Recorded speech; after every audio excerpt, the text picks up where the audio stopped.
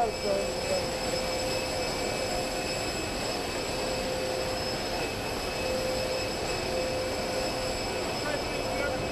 dice, acá dice.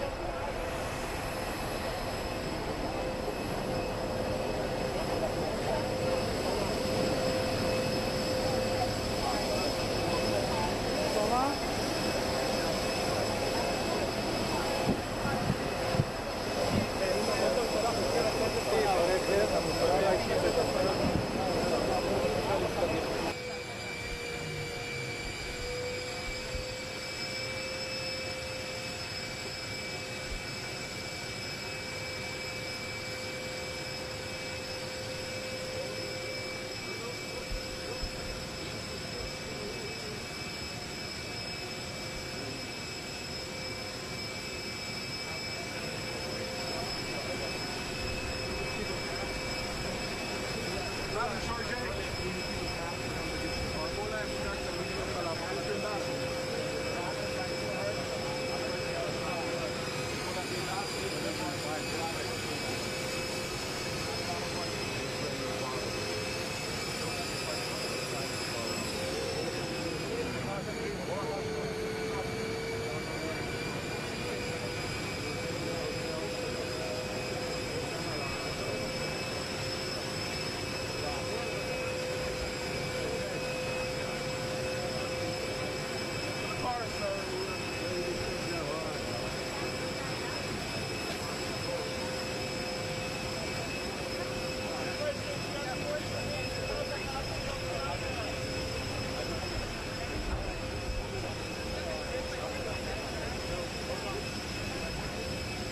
Not to test our resolve, and in the two American carrier battle groups that you sent to the region to back up those words with action.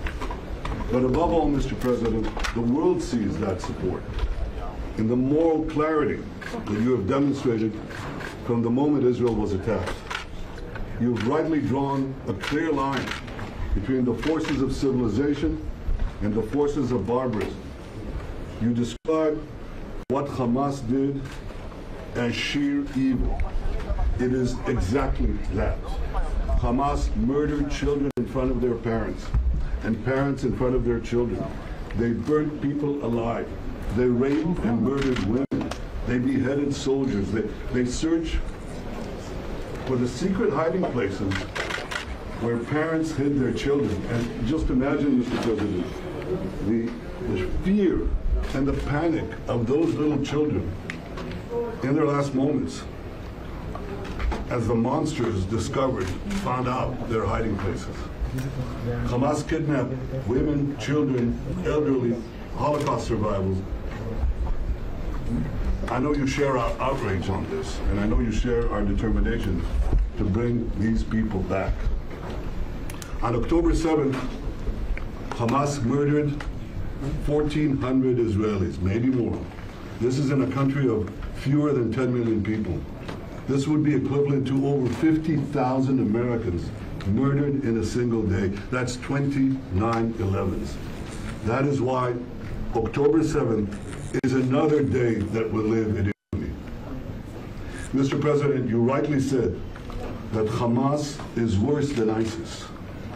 The German chancellor who visited here yesterday said that Hamas were the new Nazis. You're both right.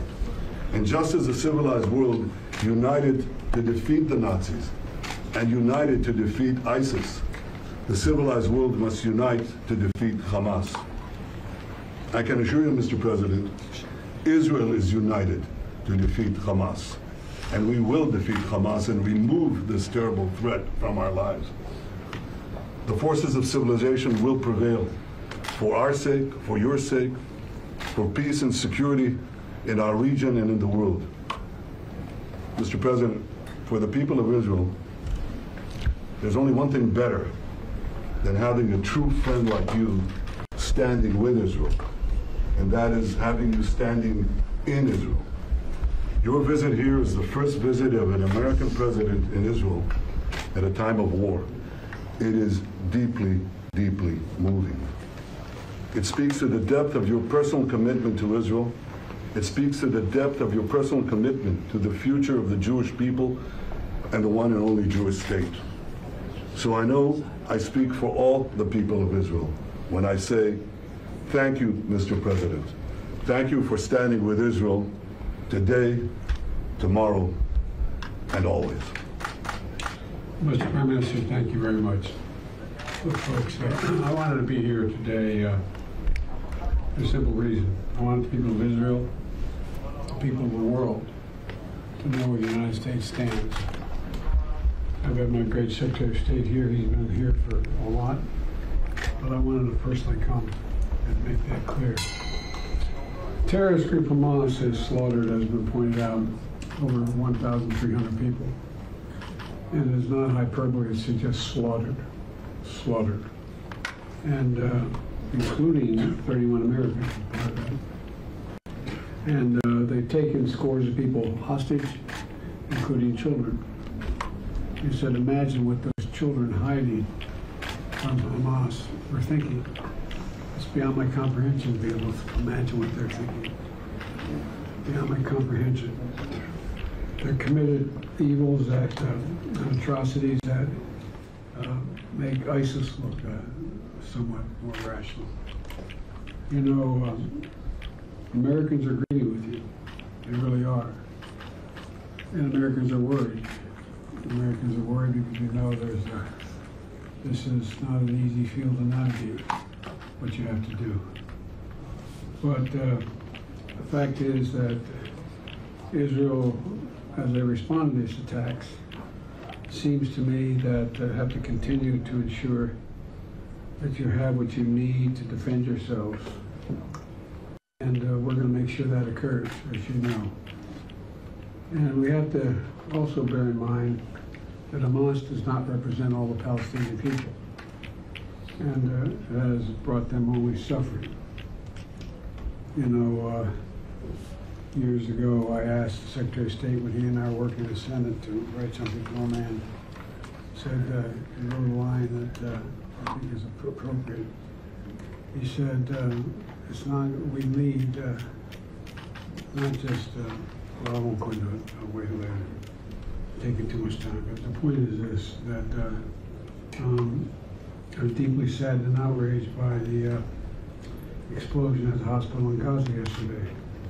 And based on what I've seen, it appears as though it was done by the other team, not, not you. But there's a lot of people out there who are not sure. So we've got a lot, we've got to overcome a lot of things. And also means encouraging life-saving uh, capacity to help the Palestinians who are innocent, caught in the middle of this. And, uh, well, at any rate, that's, that's who we are. Not just me, but the United States is. And uh, um, it's just not the example of our power, it's the power example It's almost as important. The world's looking. We, uh, Israel has a value set like the United States does and other democracies. And, uh, and they're looking to see what we're going to do. So, uh, Mr. Prime Minister, I'm very happy to be back in Israel with you. Thank you for having me, and uh, I'm looking forward to having a thorough discussion about where everybody goes from here. But thank you, and uh, I want to say to the people of Israel, their courage, their commitment, their bravery is, uh, is stunning. It's really stunning. I'm proud to be here. Thank you. Mr. President,